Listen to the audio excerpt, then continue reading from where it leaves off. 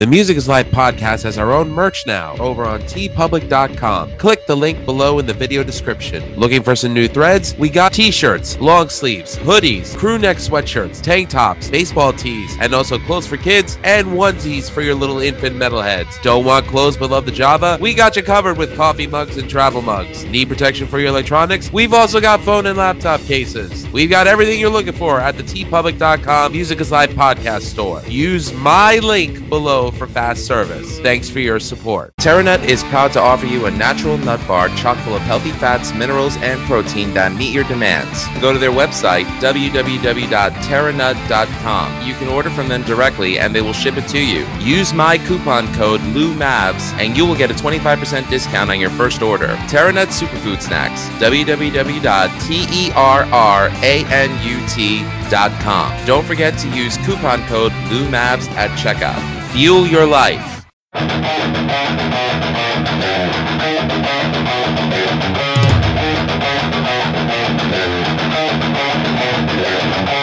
We are ready and waiting for you now. If it's a fight that you deceive, we've acquired our strength through pain. No more are we pathetic anyway. You are the reason why we claim that we've all become this way.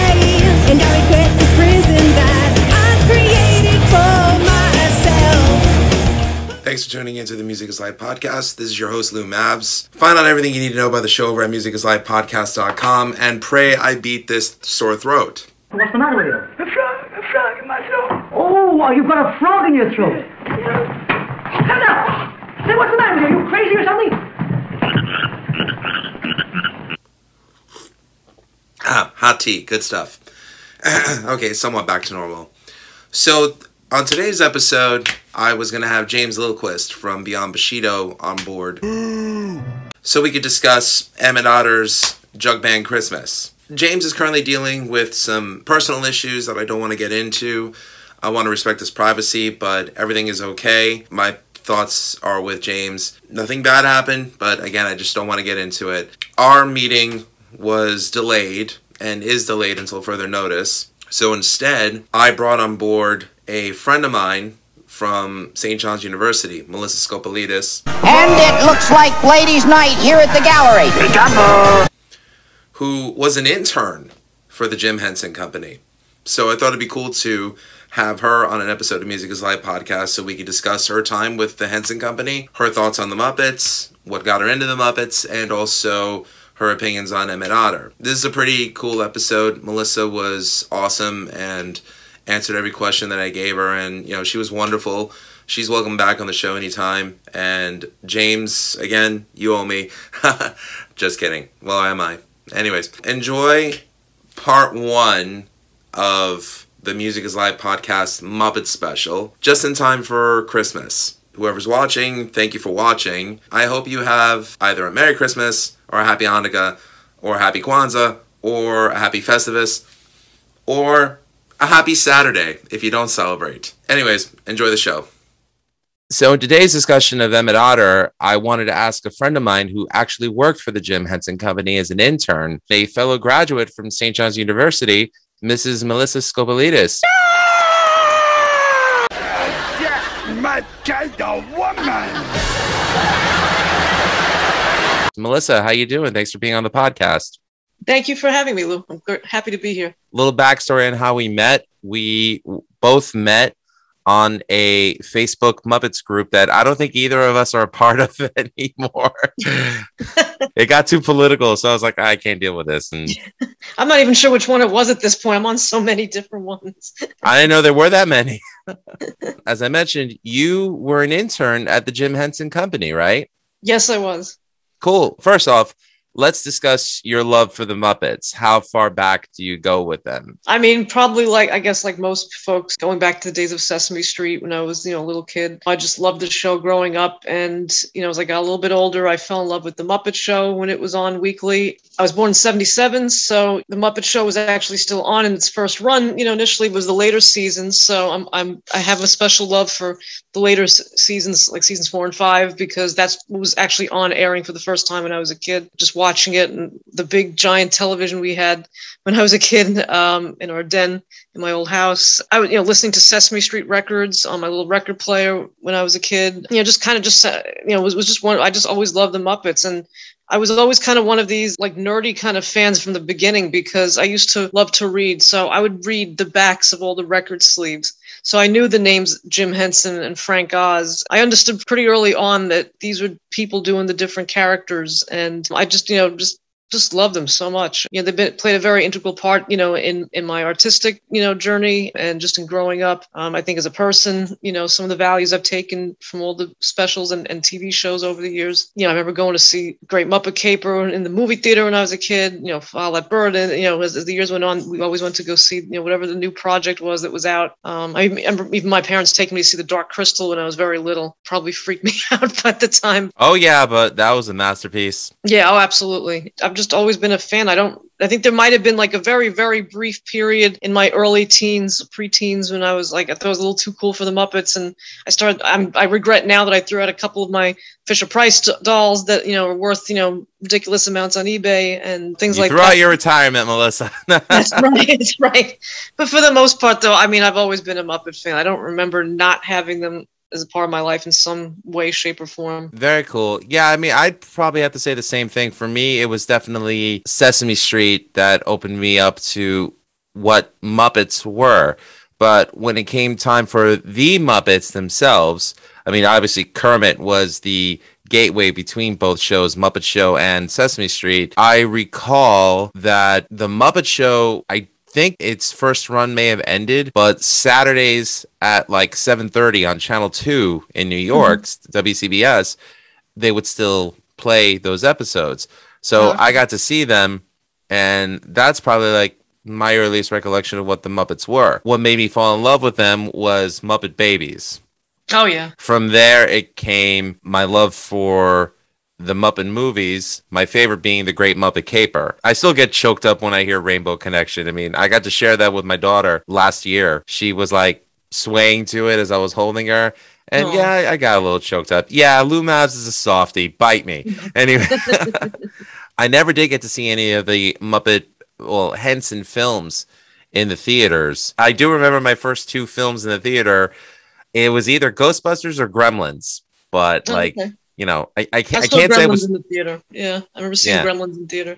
I can't say I was cheated. I mean, you know, like Ghostbusters or Gremlins. I mean, that does not suck. the with the Muppets though, what I recall growing up, especially is which is why I love them still to this day, is the fact that Jim Henson. There was something about him where there was just there was heart in everything he did, whether it was Sesame Street, whether it was the Muppets, whether it was the films, you know, prime example for me, Keep Christmas With You from Christmas Eve on Sesame Street. That's my favorite Christmas song. And I don't like Christmas songs except for that one. Just the memories that I carried with me from my youth to today and now I get to pass it on to my kid. There was heart that Jim Henson had that as much as I still love the Muppets today, I feel like there's something missing. I agree. And, you know, I don't think there's any like one person at fault for that. I think it's a variety of things of why it is. I mean, obviously, I think, you know, it's a different world now, you know, without getting too deep, but, you know, it's a different world now. The goals are different, I think, in what they're trying to do with the Muppets than they were back then. And, you know, and then again, so many of the core people who helped bring these characters to life, including the writers, which is I don't think the writers get enough credit because everybody talks about Jim Henson and Frank Oz, which is great, and yes, of course they, they embodied the soul of these characters, but they were also going off scripts that these amazing writers, you Don know, Sahlin being one of them, if I recall correctly. Don Sahlin, Jerry Juhl. There's just so many people that were involved behind the scenes that I don't think get their due overall who were just such talent. Jon Stone, who directed Christmas Eve on Sesame Street, like all these people mm-hmm. who just understood what made them tick. That I think is really what's lacking now. And as a longtime fan, it's frustrating because I still want to support them. I still love these characters, and you know I want to be excited about the next project. But I think they're missing what m- made people love them so much. And I think also the fact that you know back then the Muppets were really seen like celebrities, where I think now they're almost seen almost like cartoonish and more nostalgia Whereas back then, you know, Kermit could go sit on the Tonight Show with Johnny Carson, and you really believed he was speaking to Kermit, you know. Mm-hmm. And now everything is very safe and scripted, and you know, where Jim Henson would just kind of say things ad libbed off the cuff, and that's what made the performances memorable. and you know Miss Piggy was on magazine covers and all these things that you know you just don't see them doing now. And I think that's a big chunk of what's missing of what made them so revered, you know, to the general public. Yeah, you can say the same thing even about like someone like Frank Oz. I remember seeing a talk show with him in the 70s where he came on with the Cookie Monster puppet, but the moment Cookie Monster's mouth opened and his eyes jiggled, it's like you forgot he was there. Mhm. You know, like that transference of character, it made it feel like it was real. There was definitely spe- something special about that original crew. And I will say this I loved Steve Whitmire as Kermit. Mhm. And I'm not knocking Matt Vogel. I think he's an excellent puppeteer and obviously very talented. Otherwise, he wouldn't be working on the Muppets and, and Sesame Street. But I just feel like Steve carried over a little bit of what Jim left. That heart was still there. So I, I do miss him as part of the crew. I know he's doing stuff on his own right now, which is great. But hopefully, we'll still get more Muppet related material in the future. And hopefully, there will be a new group of pe- kids out there, a new group of people who will look at it with new eyes and not just nostalgia. At least that's what I hope because the company that owns the Muppets also owns Marvel and Star Wars. So please keep them alive, do them justice. Oh, won't somebody please think of the children? Let's talk about how you ended up interning at the Jim Henson Company. Please, the floor is yours.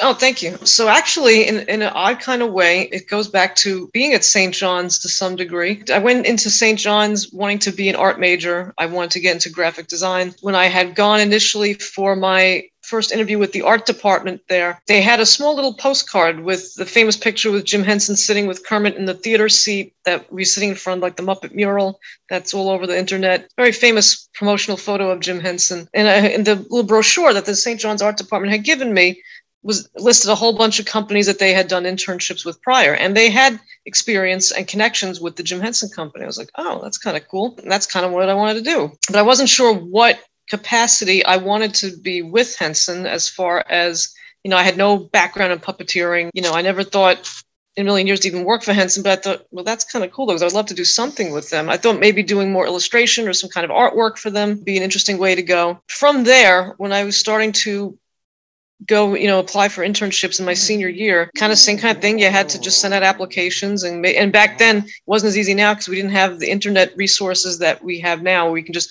google something and find out oh here's how you can contact the jim henson company. You had to kind of go through different channels. At the time speaking of steve whitmire i had been friendly with him since i was 13 years old. We were email friends from very early on like the early 90s No kidding. yeah so we we became friends kind of almost the same way we met um, on a Muppet. It was a message board at the time. It wasn't you know a chat room or a Facebook. It was a message board on the old Prodigy internet service when I was 13 years old, and there was a Muppet Wow, that's fan. a throwback. Well, yeah, yeah. There was a there was a Muppet uh, message board, and um, Steve was on there. Dave Goelz was on there briefly. Um, Jerry Juhl, the late Jerry Juhl, um, was also on there, and a couple other people you know, behind the scenes, Henson people. And I just became friends with Steve.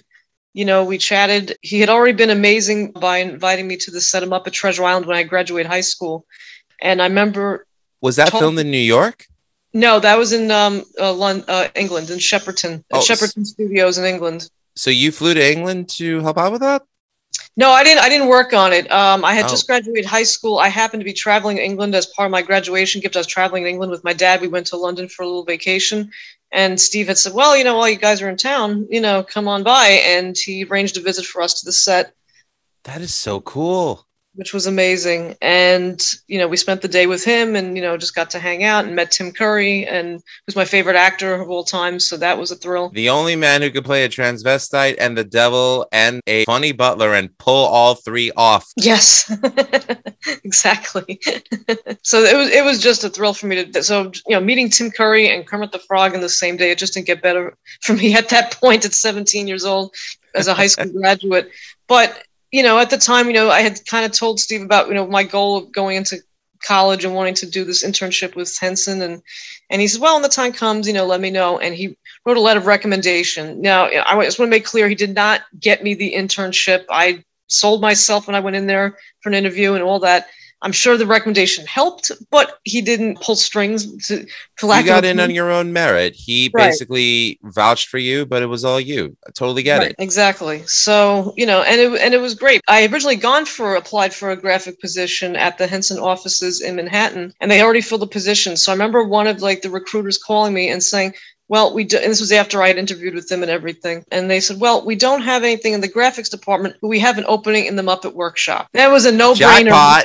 Exactly. So I said, okay, well, it has nothing to do with my major. I don't care. Whatever you want me to do, you know, I'll go do it. Because how many internships do you actually get to work hands on with whatever the production company is, or whatever the company is that producing that you actually work on? You know, it wasn't just getting coffee for people, it was working hands on with the Muppets. They had an in house database of characters for their own reference. They were looking up something for production. Everything was very detailed. For example, you know, they they had an extra, you know, frog that was maybe used as a background character on the Muppet Show or something that wasn't Kermit. We had to take a picture of that frog, put the details in, you know, what color is he, what size is he, what was he used on before, and it was basically just building this whole database of characters and props and some costume pieces and things like that. So I had to photograph all these things for this in-house database. And at the time, it was really funny because you know was, we were using like a one megapixel digital camera at the time. I had no background in photography, which I think is also a kind of help. I mean, I did photography a little bit at St. John's. I was in the Spectator Humor magazine. I remember the Spectator. I think Yeah. Howie Pearl was the editor at Yeah. one point. Yeah, my, my my friend Howie. Yes, You know Howie? I know Howie very well. Yes, How's he doing? he's good. he's very good. Please give him my best. He's living down in Florida now. He actually lives near my mother-in-law, which is kind of funny. Kind of small. Oh wow. Yeah, he's he's doing very well. Yeah, I talked to him pretty regularly. His birthday was recently. You know, we message each other here and there. he was always a very funny guy. He was always very nice to me. So uh, you know, I always Yeah, he's a good appreciated that. Hey Howie, hope you're watching this. Yeah, I he's got a my own podcast. Ha! You know, he's a, he's a good guy. Very But, cool. um, So were you College of Professional Studies? No, I was in St. John's College. I, I was going for a BFA, Bachelor of Fine Arts. Oh, St. John's College. Okay. Yeah, so most of my classes were in St. John's Hall. Yeah, a couple in I think in Sullivan Hall at the time. But being on Spectator, I had a little bit of photography experience. But going back to Henson, I really didn't have any other you know photography experience. So I trained my eye for photography, and because I do dabble in it a little bit now on the side, so I think that kind of helped in that regard. So while it wasn't for graphic design, I think it helped develop another art of you know avenue that I didn't think I was going to be doing anything with, and it's kind of proved pretty good. You know, the past several years, especially, and it was a great experience. I mean, again, it was only a brief short month you know a few spring semester from january to like april of 99 that i was there. And it was like me and one other intern. But it was really cool. I had the opportunity to build props for the tv show bear in the big blue house for their halloween episode. And i got to visit the set of sesame street. I, I got to do a lot of different things while i was there that you know i wouldn't have gotten to do i think in, in other aspects. And again so it wasn't a typical internship. Maybe it didn't necessarily help prepare me for you know what i'm doing now in life but it, you know, as a fan, it was a dream come true, and I, I don't regret, you know, at all. And it's just, just to have that opportunity. So I worked with my dream company. You know, I'm, I'm very proud to say that. You know, even though it was a brief time. I think that's a wonderful story, and that's a great memory that you just shared with everybody. Thank you for doing that. Thank you, thank you. So you mentioned your friendship with Steve Whitmire. Does that still continue to this day? It does. Yeah, we've actually, it's funny because we don't talk regularly. I do follow his video. I'll plug him. He has a wonderful YouTube thing that he does. It's called Cave In, where he does this character that he's built. And, you know, it's called um, Weldon the IT Troll. Yes, I've seen that. That was pretty funny. and you know obviously steve's a great you know puppeteer. He built the puppet you know he and he's got you know a, a production studio wherever he does that. It's near his home. He has a nice crew behind the scenes that he works with. I think his wife is involved. And you know he does these great production pieces. The gist of it is he takes um, live phone calls. He does it live. He does about once a month. He should have one coming up if not this friday next friday. He usually does it like the second or last friday each month. And he takes live calls through and he uses the um, discord app to do that which is sometimes a little wonky but it's you know it's effective. And it's great because he can reach everybody. I mean he has callers from europe from spain. He's got calls from all over the world which is really interesting. And you know he just share they share stories and he does and he kind of intersperts it with little production pieces. Sometimes he has guests on um he's had like Lou Ferrigno on. He has like these, you know, celebrity guests on, on occasionally that are fun, and they interact with Weldon. They do little skits and things, and it's it's it's a really fun interactive show. It has a lot of like that kind of Muppet zaniness. You could definitely feel the influence there. Again, a uh, carryover of the heart of Jim Henson. So Yeah. I could see why you would have that. I'll definitely post the link in the uh, description below so people could directly see it, subscribe to it. Yeah, anything to support Steve Whitmire because I just, you know, I don't use this word often, but I, I think he's a genius. So Yeah. Yeah, he is. He's he's very talented. I mean, he's musically he's very talented. He's he's a very spiritual guy. He's he's a very interesting guy to talk to. He's a lot of amazing stories, a lot of amazing experiences, even outside of performing and puppetry. He's just you know he does a lot of amazing things you know with his with his time and yeah, i know he volunteers um, with uh, a wild uh, life preserve out in california tippi hedren's preserve um, shambala it's called i know he's on the board there with his wife you know so they've tended to he does production pieces for them and he's he's, he's involved in a lot of amazing things and um, he's just a great guy and the last time i saw him was actually 2018 at a convention in Philly. We don't see each other very often, but we keep in touch. And it's great to talk to him often now because back in the day when I first started communicating with him, it was very hard because of his schedule with the Muppets and he just wasn't the computer guy. And now, you know, because of today's technology and you have to promote yourself. He's always on social media. So now it's easier to get in touch with him now than it was back then. So, you know, we don't call each other up on the phone per se, but like, you know, I'll shoot a message on Instagram. He'll respond like within a day or so. Like we'll chit chat back and forth. When I saw him again 2018, you know, we were just, my husband met him for the first time. And Steve was just saying he was in awe of like how long we've been talking to each other. He goes, we've known each other for like 30 years technically. And it's true. Yeah, knew since you were a kid. So yeah. So, you know, and I think, you know, he's almost kind of got like that like that proud papa kind of you know vibe with me. You know he came out gave me a big hug you know he, he's just he's just a good guy. Like i really don't think there's a bad bone in his body. Mr whitmire if you ever want to be on my podcast please consider this an open invitation. I'd love to have you.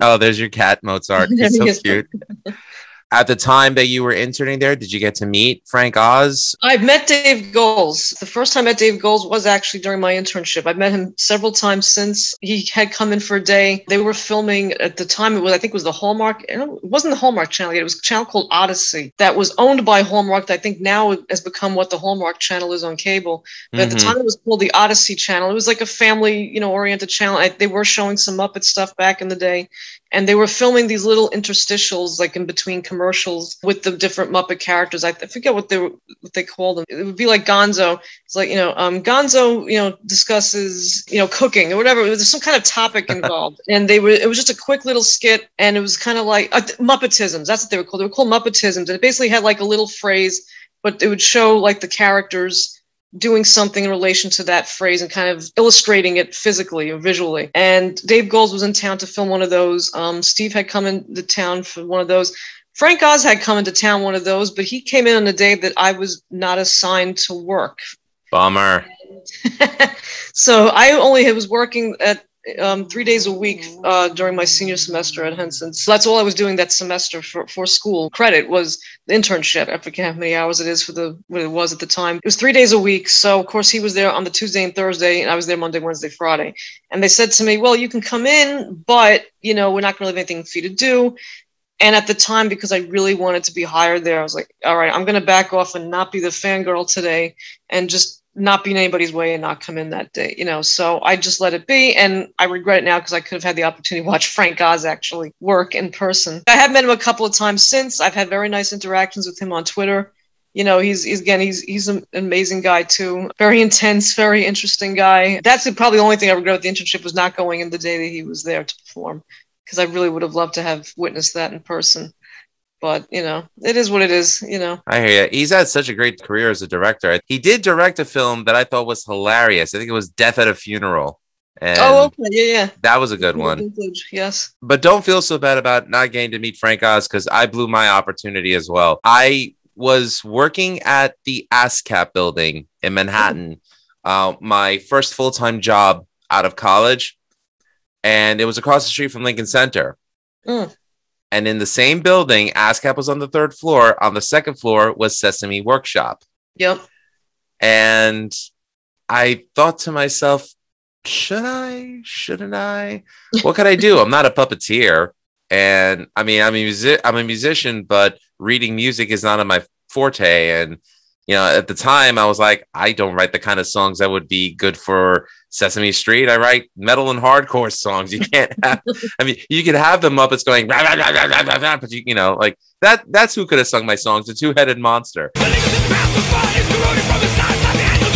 But I digress. I'd have to say though two things. Number one, Jim Henson and Frank Oz, as good as any classic comedy team from oh, the old era. And I'd have to say though, my single favorite Muppet performer would have to be, and God rest his soul, I'll always love him, Mr. Jerry Nelson Oh yeah. the voice of Emmet Otter. So now we have a good segue into our discussion of Emmet Otter's Jug Band Christmas. This was originally a Canadian production that was broadcasted in 1977, and then I believe it premiered on HBO the following year in 1978, and then every year after that it was on broadcast television. But I think it was mm-hmm. on Nickelodeon annually in the 90s. Yeah, it was on Nickelodeon. I think it showed up on the Disney Channel at one point. I think also that Hallmark Channel, the Odyssey Channel we were talking about. Yeah, they've It it's did. popped up in a few different like networks over the years. Yeah. And on top of that, though, there's different variations of it. Some have Kermit, some mhm. don't. The incarnation that was made for broadcast television has his narration, but that's the only one that does. The one that's available right now has Kermit in it, but no narration. But there are special features on the Blu ray edition where they have outtakes and I think some things that they omitted from the final product. I actually saw the outtakes. Somebody posted them on YouTube. I thought they were hilarious. They're very Yeah. funny. Yeah, they're on the regular DVD as well because that's what I have. I don't have the Blu-ray, but I have the DVD. It was like an anniversary DVD out a number Mhm. of years ago, and that's yeah. Yeah, I didn't realize Frank Oz was supposed to be the voice of Mama Otter. I thought that was uh, pretty funny when I heard that. I'm like, oh, I, I- can't help but laugh every time I hear Frank Oz do a female's voice. oh my goodness, he does it so perfectly well. But you know, hey, he did my favorite Sesame Street Muppet, Grover. So you know, when did you first see Emmet Otter's Band Christmas? oh wow, the first time I saw it. It's For me, gotta it was two years ago, the first time ever. I kid you Oh not. wow, really? Yeah. I'm a newcomer to the game, but man, do I love it.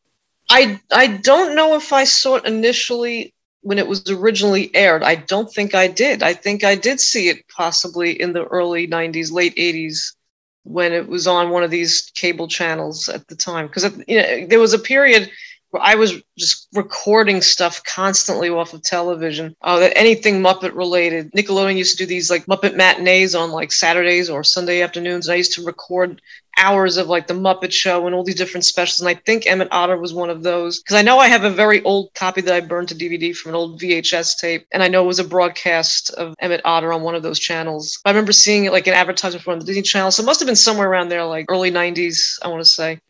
It was probably the first time I saw it. Yeah, I remember the Muppet matinees. Uh, They, they would actually air them on the weekdays too, because I remember being home from school in the summertime and it would be Muppet Show, then Muppet Babies. Mm-hmm. Now you can't find the original Muppet Babies anywhere because it would probably cost them boatloads in copyright fees because of so much. Jim Henson got away with so much stuff, and they just said, "Yeah, no, we'll let you, Jim. Go ahead." And it's Mhm. like now it's like, no, no, no, you got to pay up. So Yeah. that was the magic of Jim Henson. He could do no wrong. He was also a very shrewd businessman, from what I hear. He had an amazing way with people, obviously, so I think that worked to his advantage. But I think also when it came down to it, he knew how to get things done. And you know, obviously, I mean, he built this empire of a company. You know, but I mean, knowing people have worked for him for years, I mean, they said he was very direct about when he wanted to get things accomplished. You know, business wise, and made deals that you know he knew exactly what he was doing. Yeah, I never heard anyone say a bad thing about him. They actually posted the footage from his funeral on Mhm. YouTube, and I remember watching it. Frank Oz had such a beautiful tribute to him. I mean, everybody did. Yeah. Especially when all the Muppeteers got up and sang the song "When the River Meets the Sea" from Emmet Otter at his funeral. I mean, you can't help but get choked up and see that these guys had genuine love for him Yeah. but you know you have to be a shrewd businessman i mean let's not forget that back in the day in 75 when snl saturday night live first premiered there was a sketch that lorne michaels wanted to dedicate for jim henson The Land of Gorch, I think. that's was. it. That's it. I remember reading that some of the writers said we don't write for felt, and I think the terminology used by Mr. John Belushi was "mucking fuppets" was the exact word. But then he had his show called The Muppet Show, and even though it only lasted five seasons, it is on Disney Plus. I have the first three seasons on DVD, and it's mm-hmm. funnier than anything SNL has done in the last 20 years.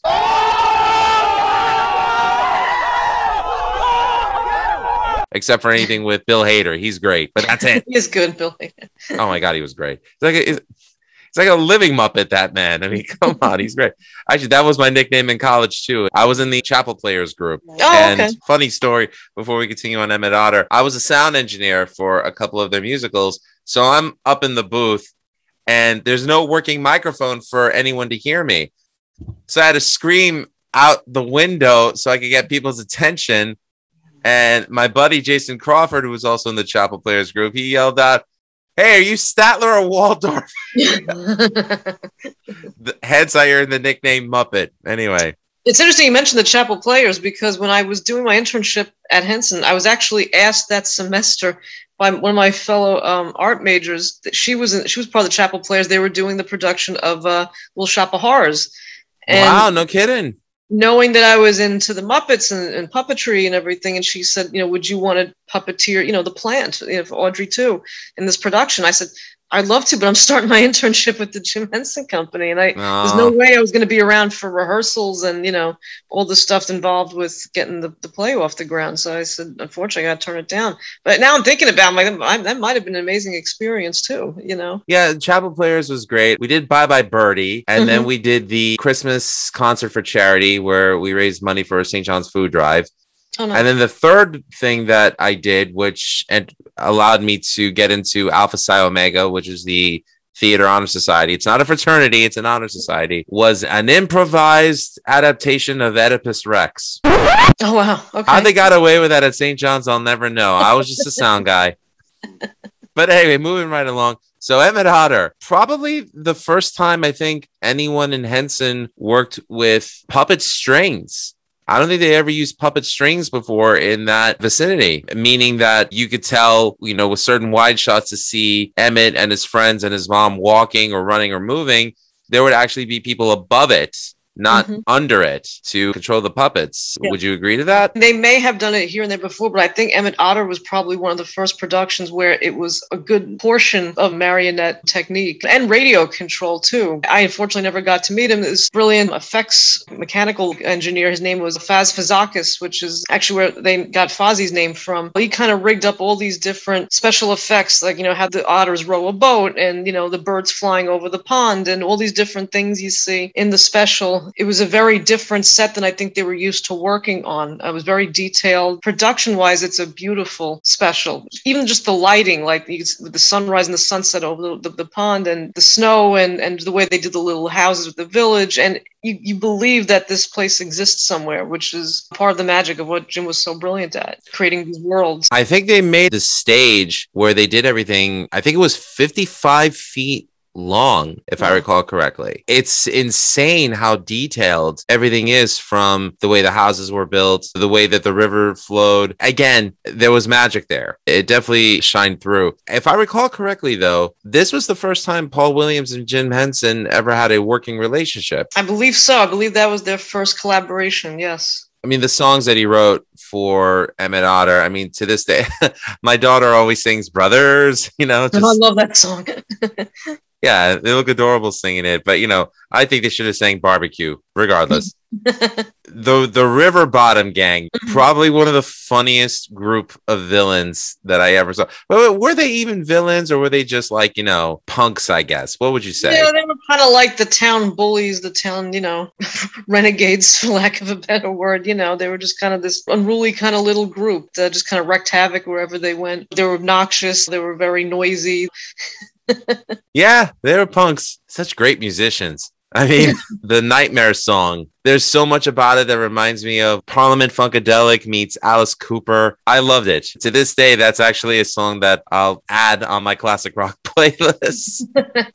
That's the genius of Paul Williams as a writer. I mean, he can do all kinds of different styles of music. You know, he can write these beautiful ballads like the Rainbow Connection, and he can do stuff like the River Bottom Nightmare Band songs. He's just very talented that way. I mean, I, I'm a fan of his music and of his generically non Muppet related. I, I love Paul Williams. So about genius. And he's written for everybody who's anybody in the music industry. And he was the president of ASCAP for a while and he's still working now. He was involved with Daft Punk. Like he's, you know, the guy doesn't stop. I did not meet him when I worked at ASCAP. I wish I did. I met him briefly back in 2013, I think it was. Carnegie Hall was doing a musical world of, to Jim Henson tribute, and Paul was actually there in person. There was two shows that day. I got to meet him in between the two performances, and he came out, you know, the stage door and he just got a quick picture with him, said hello, you know, I love your work, basically. And he was, he was very nice, very approachable, really, really interesting guy. And the documentary they did about him a few years back, Paul Williams is Still Alive, is an excellent highly recommended documentary about his career in general and just some of the battles he had to deal with, you know, with some of his addiction issues and things like that throughout the 70s. And he's he's amazing, you know. Yeah, he never gets any credit for his acting. He was in one of the Planet of the Apes films. Yeah, he's actually a really good actor too. Yeah, he's been in a bunch of stuff that you know he was a guest up on the, on the Odd Couple. Like he's done so many different things, acting wise, music wise. He's done a little bit of everything. What was it about Emmet Otter that you loved the most about it? I think I've,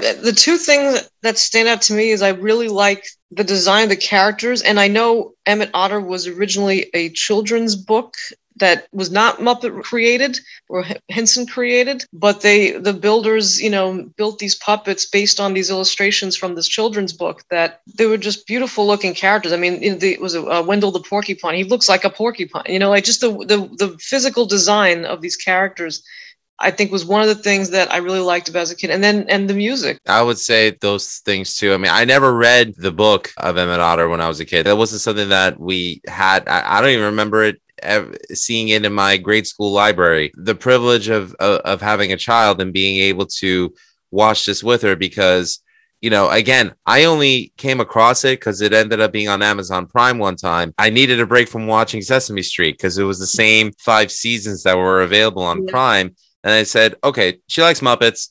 Let me see if there's something else for her. And it was there. And I watched it with her. We both fell in love with it. And from there, we were able to find Christmas Eve on Sesame Street. And so many memories of my youth came back because I think they stopped showing it on PBS in 1988. Mm, that sounds about right. Yeah. But the cool thing is that in Astoria, Queens, at the Museum of the Moving Image, there's an actual exhibit dedicated to Jim Henson still there. Everything yes. from Sam and Friends up until the point where Henson sold everything to the company that we won't mention. You know who it is. Uh, they also have showings of some of the older Muppet material, mm-hmm. including. Emmet Otter and Christmas Eve on Sesame Street. Did you get to see any of that before the pandemic? I actually was one of the donors for that exhibit. It's a permanent exhibit at the Museum of the Moving Image. They had done a Kickstarter campaign back when they were um, still trying to get everything, you know, completed with it to get it opened. And I was one of the donors. So I actually got to attend the opening night ceremony, so to speak, for all the donors, all the Kickstarter donors, which was really great because we were like the first people to see it before it opened to the public. They had a giveaway uh, rewards for, you know, donating for like whatever level you donate. You got a different award. I got like a t-shirt shirt, and they had the collectors. Um, they were these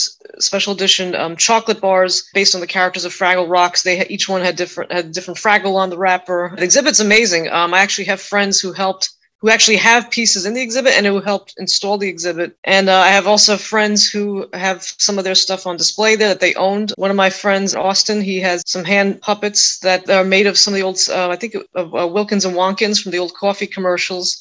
Um, there were these hand puppets that if you collected like things off the coffee cans, you sent away and you got these little hand puppets in the mail. And Austin had them. He found them on eBay or whatever it was. And his puppets are in the exhibit. Yeah, I've attended many of the screenings there over the years. I'm not a museum member because I'm just because I'm not close enough to, you know, really take advantage of the membership, but I've attended many Muppet related events at the museum over this past several years. The Jim Henson Legacy runs it, and they do an amazing job. Um, the gentleman who runs it, Craig Shemin, is a longtime writer for the Muppets. He's a friend of mine, also former Henson intern. He does amazing work in you know keeping all these programs going over there. I think they just had one for the new Fraggle Rock series and the anniversary of Fraggle Rock, where they had some of the, the, the behind the scenes folks from the original series and some of the new you know showing old you know clips. I know they did recently um, a Halloween thing you know, they uh, unfortunately I haven't been there in a while. Uh, last time I was there was actually was 2019, I think, right before the pandemic for my birthday. Um, I had gone with my sister because she hadn't been to the exhibit yet, and you know, she was thrilled seeing, you know, Cookie Monster in person. She loves Koozebanian babies from the Muppet Show. So she was really excited to see all those things up close you know, and actually in, in the felt, so to speak. So I've seen some of the uh, Wilkins and Wonkins uh, commercials on YouTube. I think they're hilarious. They even have the Wheels, Flutes, and Crowns commercials where you saw the original incarnation of Cookie Monster with teeth in it. Yes. Obviously doesn't have Cookie Monster's voice. Seeing that was insane and you really begin to appreciate the fact that Henson was you know, admittedly was a fan of Howdy Doody. He was the go-to guy for a lot of these companies, comparable to almost George A. Romero, the director of mm-hmm. Night of the Living Dead. I mean, he started a film production company to make commercials for local businesses in his area in Pittsburgh. You know, it's great that people saw Henson saying, Hey, look, we want to promote this product. Can you create a commercial for it?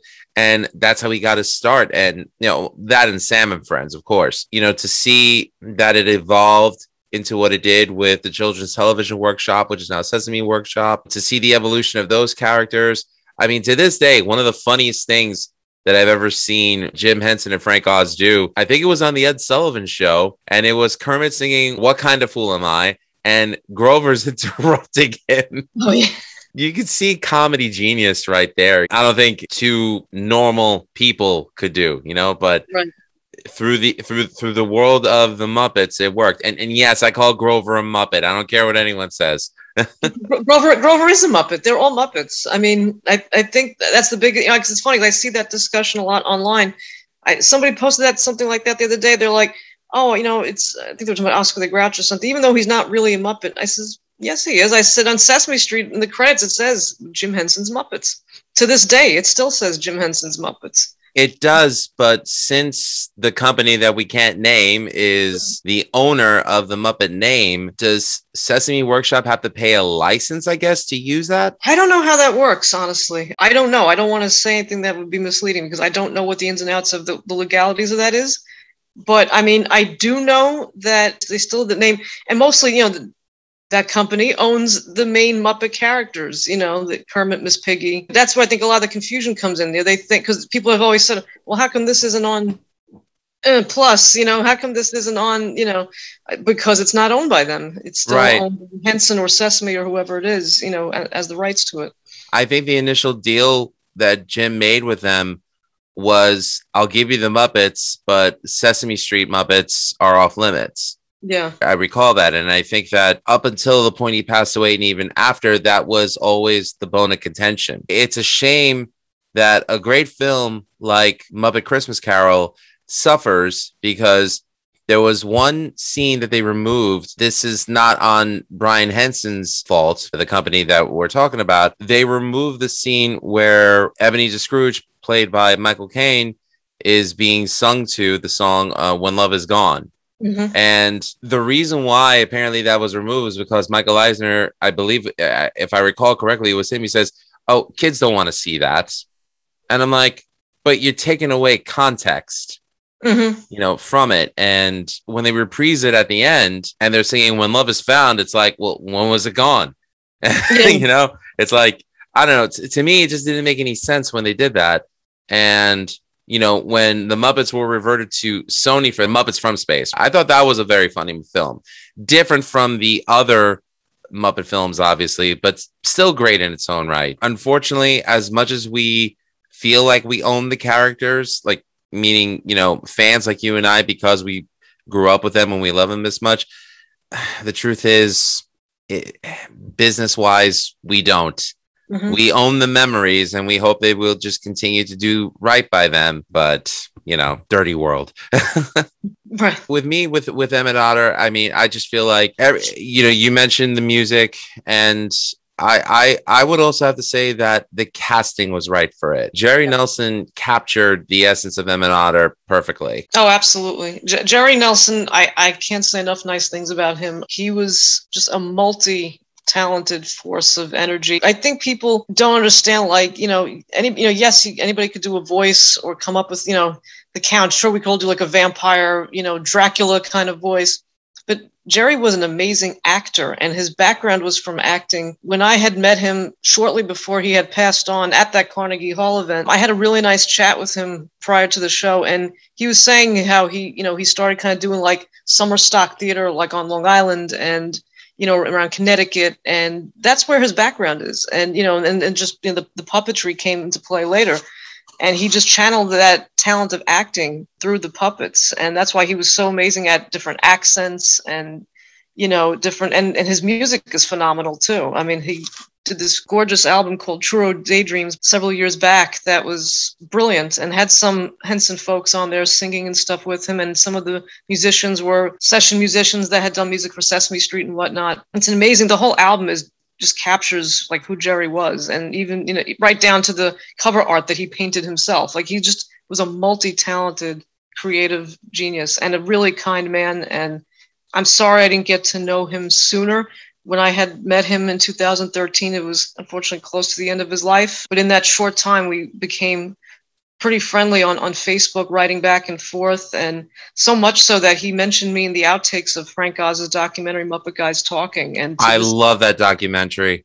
yeah, if you if you got the uh, the bonus material that they offered, there's a section where he talks about you know Muppet fans and everything, and he actually mentions me by name, with, and it's just it floors me still. And a friend of mine pointed out that he was he goes he's Melissa, is he talking about you? And I and it had to be because it was filmed the day after the Carnegie Hall show, and he says I met Melissa and her friend at the stage door, and he mentioned exactly what I had said to him, and I said, oh my god, you know.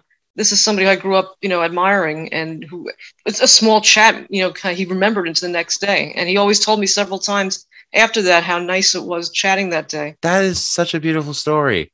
Yeah, it's it's it blows my mind that you know we had that kind of like little moment. And I used to keep I had I had kept one of his last Facebook messages to me as like inspiration at my uh, one of my former jobs when things were getting rough towards the end of that my time there. And it was just he just said like you know thank you Melissa that that day was um it was, that was a great day and um, our chat was one of the elements that made it perfect. And he just like even like eloquently like worded things amazing you know? I said that's one of the nicest things anyone ever said to me period. It was just amazing you know? Well, he struck me as an as an amazing guy and such a wit and humor about him.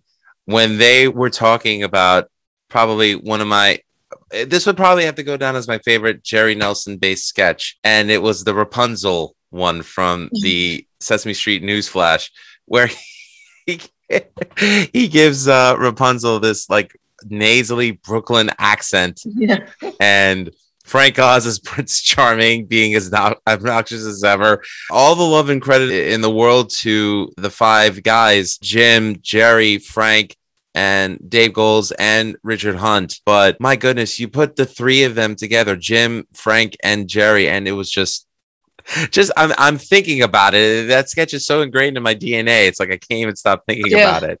No, you know which one I'm talking about, right? Oh yeah, absolutely. Yeah, they that they pull that one out a lot for a lot of the um like the anniversaries and and like you know best of Sesame Street thing. That one always comes about because it's so so brilliant. You know, their their their their camaraderie is just unmatched. You know, and again, I think that's one of the biggest things missing now is just you know that, I'm not saying the guys aren't close behind the scenes and whatnot, but it, there's just something. Even if it was scripted, it seemed spontaneous back then. However, you know, for whatever reason, whether it was the way because of the brilliance of their acting or just the you know, I don't know, but maybe they had more freedom to do stuff in the studio than they do now. I don't know what it is, but even the scripted stuff seemed very like off the cuff, and that's to me what made it great. Like you know, just just even the, the jokes and like the one liners and you know some of the sight gags and just all the things that go into it i think is what you know made the muppets as funny as it was and what ap- appealed to all ages too you know and i think Mhm. that's the other thing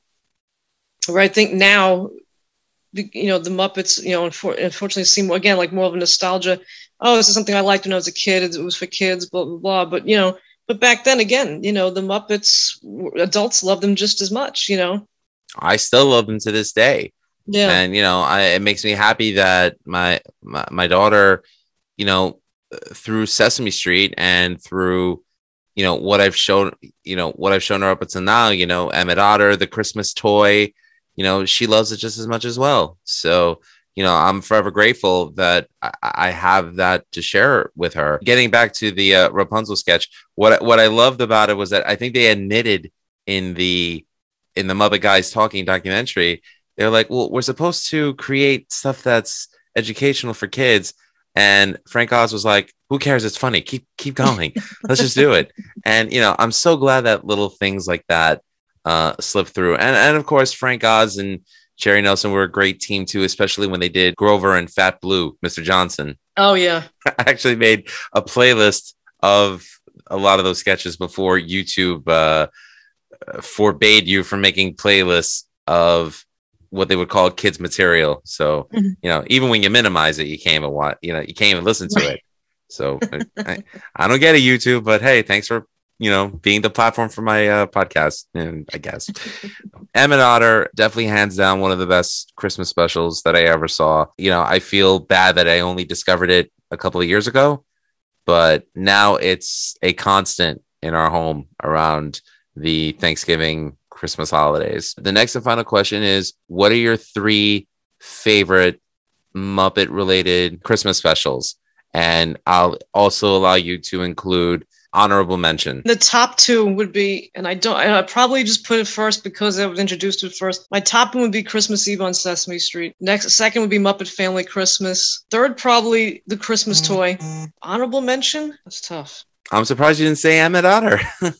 You know, I love Emmet Otter, but Emmet Otter was never a favorite because I think, again, like you, I, I saw it later in life. It wasn't ingrained in me as a, as a kid. So I think that's a big part of it. Understood. Not to, take, not to take anything away from it because I love it now. And I, you know, I have the, the, the vinyl they put out uh, in 2000, 2018, I think it was for Record Store Day. Was a picture disc. I mean, I, I love it now. God, an honorable mention. Sticking with TV specials. It could be anything. It could be film. It could be an episode of Muppet Show or Muppet Babies. Doesn't matter. Well, then I guess for honorable mention, I would I would I would have to say Muppet Christmas Carol. Okay. I'd have to say for me, three favorites, even though I only watched it a couple of years ago, but I'd, I'd have to give it to Emmet Otter, number three. Number two, I'd have to say Muppet Family Christmas. And number one, I'd have to give it to Christmas Eve on Sesame Street. And my honorable mention, I would say the Christmas toy. And I was actually introduced to that by my wife. I didn't even know of the Christmas toy until she showed it to me on an old VHS tape of hers. And Wow. yes, it had the McDonald's commercials and Yep. you know all that stuff. Yeah, they weren't trying to sell stuff to kids back in the day. No, were they? but yeah, I mean, so many great memories because of the Muppets, and you know, to this day, probably the greatest thing from my childhood that I still carry with me to this day. Um, probably more than the Looney Tunes. That would have to be number two. Yeah, I love the Looney Tunes as well. I mean, classic classic Warner Brothers. I, I love I love Looney Tunes. anything else you want to mention in regards to your time at Henson? I mean, I, I know career wise, you've gone a different path than what you interned at, but it sounds like it was a very memorable, special time for you. Yeah, it really was. And the the neat thing is too is that at the time, as part of my internship, I was required by St. John's art department to keep a uh, a journal um, of what I was doing each day, and then every once in a while, like we'd meet with the professors and we would go over what the internship was. And um, at St. John's, if they felt that you weren't doing what you kind of wanted to do, or if they felt like you know you're being taken advantage of as an intern, they would get you out of there. And I saw them do that with a couple of students when I was there. You know, because I remember one student was like, "Oh, you know, I'm kind of just sitting there reading a book, you know, unless they ask me to do something," and they're like, "Get her out of there. We got to find her someplace else." Um, thankfully, that wasn't my case. I was always very busy there, but it was nice to have this journal because I have written down what date I was doing what and what I was working on, who I met, you know. And again, you know, had nothing to do with my my aspirations to go into graphic design, but I think in in in the long run, I, I guess it kind of did benefit me as far as the photography goes because now I kind of do some photography on the side. Um, again, my husband plays um, adaptive sports, so I I do social media and photography for his sports teams. You know, I've done it. I used to volunteer for a dog rescue. I did um, some photography for them. Some of my photos were used for um, the town of Hempstead's uh, calendar. Um, you know, I've had things, opportunities for the photo, and I think that goes back to going back to Henson because again, I'd never had, I never I took one photography class when I was at St. John's. I never really did photography otherwise. And again, shooting for Spectator when they needed stuff, I would go around campus and take pictures of goofy things that we were doing for the photo shoots for the magazine. But as far as like, you know, learning to set up a shot and using, you know, backdrop and lighting, that all came from being at Henson. So I guess in a way it it did kind of educate me. You know, I did learn something out of the internship aside from just, you know, having the amazing opportunity as a fan to actually see hundreds of characters from all the different productions.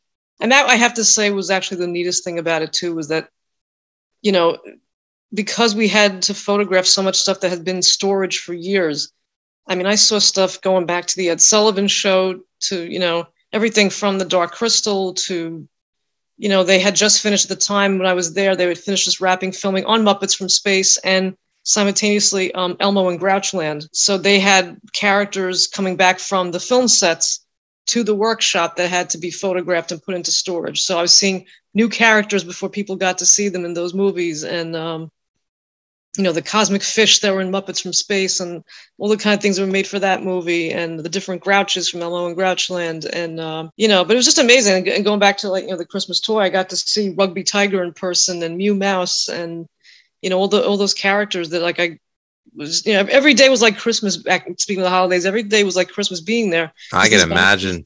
These boxes would come in from their storage facility, and we'd have to go through them and photograph them. And it was like every day you were surprised at what the next thing was going to be from, and it was like, oh my god, it's you know, it's it's you know, it's, it's rugby, or it's you know, it's it's Yorick from Ed Sullivan, or you know, and it was just it was just amazing, you know, to, as, as a fan just to be part of it, and to also I have to say the people and the networking I made. Um, I'm still friends with a lot of the people who were workshop, you know, employees. Some who had been hired by Jim himself, you know, had been there a long time. And it's nice because I still have this relationship with them on Facebook. And when I see them at events, it's always very nice to kind of catch up and say hello. You know, so the networking aspect of it and to and to work with these people who actually knew Jim, who, you know, worked alongside him you know, with his advisement is, is just was really neat as well. People I'd read about in all my behind the scenes Muppet books over the years you know, I got to work with some of these people. So that, you know, as a fan, again, was really, really humbling and amazing, you know, to be a part of. I'd like to go to one of these if possible. I, I think it would it would be cool to kind of document it and highlight it on the podcast and just like meet like-minded fans like us. Well, not just fans, but people who actually were in the thick of it. Yeah, they, you definitely should. I mean, because they're always very different. You know, they do a nice job. They're they're very intimate events because the theater at um, Museum Moving Image is not that big. It seats maybe, maybe several hundred, I would say. It's so so the they, you always have this very intimate feel. I mean, I've seen Frank Oz speak there. He's done a couple of speaking engagements there, and a lot of times they'll have um, a signing. They actually had an Emmet Otter one a few years back that I unfortunately had to miss. Uh, by the time I had gotten had heard about it, the tickets were sold out. They had Paul Williams there, and he did like a CD signing for the soundtrack and they screened the movie and they showed like, you know, the outtakes and they had some of the other people who worked on the production there in person. And I heard it was a really, really nice event, you know, so they're always very well organized, you know, very fan friendly. You know, they have um, Craig Shemin does a great job. He does like raffles, he does giveaways and, you know, all this kind of stuff during the, uh, the screenings and they have, you know, Q and A's and it's, it's really informative and, and it's fun. And then you, and because if you get the tickets for the events, you get admission free admission to the exhibit is included. So if you haven't gone to the exhibit you know it's a great thing to take people to. I've been to the theater at the museum of moving image once. This was mm-hmm. back mm-hmm. in 2005 and it was for marx brothers retrospective. Oh okay. And they showed the coconuts. And then right after that they showed duck soup. Now i'm a huge marx brothers fan i own all the films but i wanted the experience of seeing it in the theater and I, I think they used the original reel because you saw some kind of tears in the uh, in the celluloid of the 35 millimeter mm-hmm. film, but still it, it was great to see it. I actually went with my wife, who was my girlfriend at the time, and my future brother-in-law, who had never experienced the Marx Brothers before, and now it's like we quote Groucho to each other all the time. So I'm happy about that. I was so upset though in 2003, George Romero actually i know i'm bringing him back into the conversation but this this this is one of the missed opportunities in my life that i regret to this day he came and did a retrospective where they showed night of the living dead dawn of the dead and day mm-hmm. of the dead and a couple of his other films and he was there that entire weekend ans- asking questions and um, missed it but uh, you know he's gone now, and I thought to myself, oh, "I'll see him again when he comes back again." Know, no, I never, I never met, I never met George Romero. I'm not a huge zombie genre fan, but I do love the original Night of the Living Dead. I, I tried mm-hmm. the, the, other ones; they're okay, but I, I love the, I love the original. And my friend had met him at a uh, convention that unfortunately I couldn't attend, and I gave him my my DVD to have George Romero sign, and he got a really nice autograph on the Night of the Living Dead DVD for me. So I'm, I'm very thankful to have that now, especially since he's passed on. You actually got George Romero's autograph. That is sick.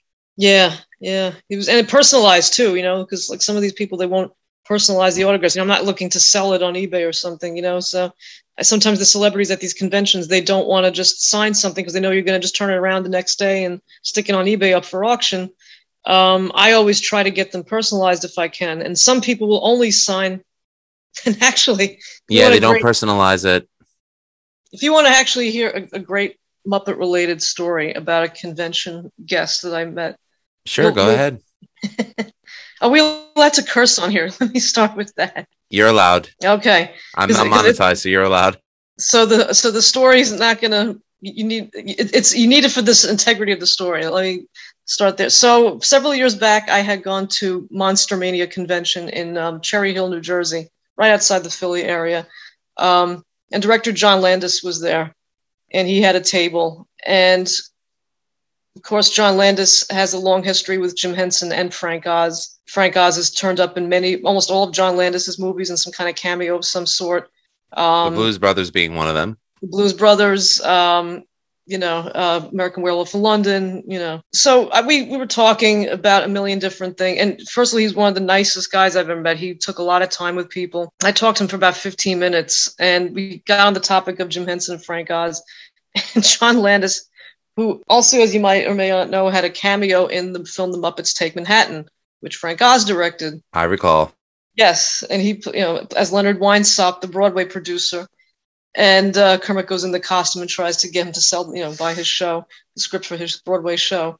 So John Landis tells the story to me of when he went to a screen, just a, not not a not a premiere or anything, just a regular local theater screening of Muppets Take Manhattan. He took his daughter at the time, who was maybe about five, six years old, and you know they watched the scene where he, you know, was on the screen with Kermit, and after Kermit walks out, his daughter turned to him and said, Daddy, you were mean to Kermit. And then all of a sudden, John Landis hears behind him, You sucker. And it turns out the guy yelling, You sucker at him was Cheech Marin, who was there with his son watching the movie. Oh my god, that's a funny I- story. it was the best story that and i you know i've gone to a lot of these conventions over the years and met a lot of interesting people and some very big names this has to be my favorite story that he's told that i've heard at, at- from one of these people at these conventions I could just picture Cheech doing that. That's the best part yeah because and, and, you know again it wasn't like at a like a premiere where there's a bunch of celebrities it was just hey i'm here with my kid i'm here with my kid and he just hears this you know that familiar voice you know oh my goodness. I'm really happy you took time out of your day to discuss your time with the Muppets and Emmet Otter and your favorite Muppet holiday related specials. It means a lot to me that you took time out of your day.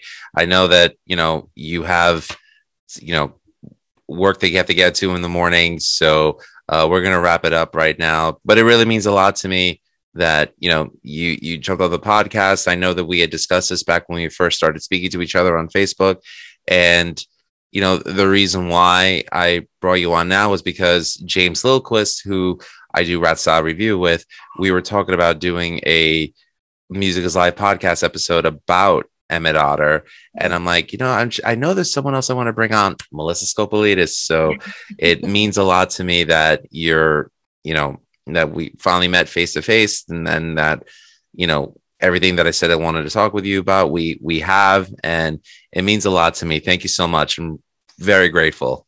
Thank you. Thank you so much for having me. I was very excited to ask. And, you know, again, I could talk about the Muppets as the day is long. So, and to just, you know, recap those experiences and, and, and go down that, that, you know, memory lane is, is really great because I love to speak. It was a very happy time in my life. And, you know, there's, there's very few parts of, of my life that I think really stand out where I can say I was actually like genuinely happy with like the way everything was going. And that internship was definitely a time for me. And, um, I, you know, just to, to, to relive it was was really great, and I really appreciate you having me on. And I love just talking to Muppet fans and, and networking with other people like minded like myself. Definitely. Well, let's hope that you and I can go to a convention one day. That'd be great. Yeah, absolutely. All right. Awesome. Well, Melissa Scopelitis, thanks again for coming on the Music is Life podcast. Thank you. Thank you for having me. Have a great Thanksgiving, and thank you to your listeners, and thank you so much. Thank you. And happy Thanksgiving and a Merry Christmas to you too as well. You too. Thank you. Take care. Take care. Bye. Thank you to my guest, Melissa Scopelitis, for joining me on this episode of Music is Life podcast. If you want to know more, check us out over at musicislifepodcast.com. Also, check out our parent network, RatSaladReview.com. Look at some of the other podcasts that we have on that. 2022 is looking like it's going to be real promising for the show. Going to be having more guests. Going to be doing a lot of more different things, more remotes, more interviews, more reviews, more top 10 lists. The future's bright and endless, so I'm looking forward to it. And thank you for subscribing. Thank you for giving this show the time of day. You know, this is all done in my house. I don't have the budget of some of the bigger podcasts, but I got the heart. And really means a lot to me that you even give it give it the time of day. So thank you. And again, wishing all of you out there a safe and wonderful holiday season. Merry Christmas, Happy Hanukkah, Happy Kwanzaa, Happy Saturday, and Happy Festivus. And above all, have a Happy New Year. And don't forget, all art is valid. See you around.